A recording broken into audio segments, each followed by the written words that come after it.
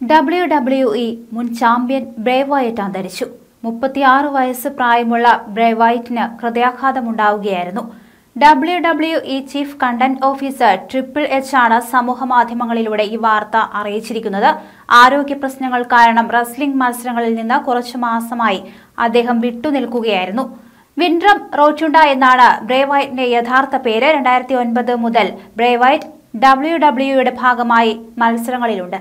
വേദിയിലെ തകർപ്പൻ പ്രകടനങ്ങൾ കൊണ്ട് ലക്ഷക്കണക്കിന് ആരാധകരെയും വൈറ്റ് സ്വന്തമാക്കിയിരുന്നു. ഡബ്ല്യു ഡബ്ല്യു ഇ ചാമ്പ്യൻഷിപ്പും യൂണിവേഴ്സൽ ചാമ്പ്യൻഷിപ്പും വിജയിച്ചിട്ടുണ്ട്. റെസ്ലിംഗ് താരമായിരുന്ന മൈക്ക് റോറ്റുണ്ടയുടെ മകനാണ് ബ്രേ വൈറ്റ്.